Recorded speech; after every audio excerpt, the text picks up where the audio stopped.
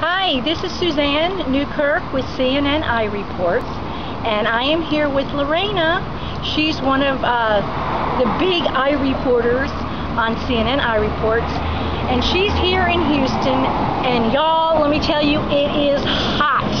We're looking at about 105 degrees at this time, and no one seems to know where to go for cover to get some air conditioning. For me, my air conditioner went out in my vehicle because it was so blasted hot day in and day out. People are suffering from heat strokes. I am dripping wet.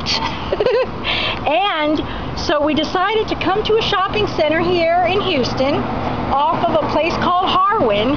And we're thinking, oh gosh, we can't wait to get there to get in the cool store. But guess what? The store owners can't even afford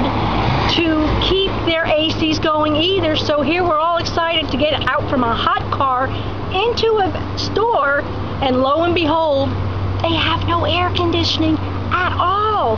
Can you imagine that? So we are sweltering and we're just asking for some relief here. Houston is hot as blazes. Stay put, stay cool. Lorena and I love you, CNN iReporters. Thank you. Bye.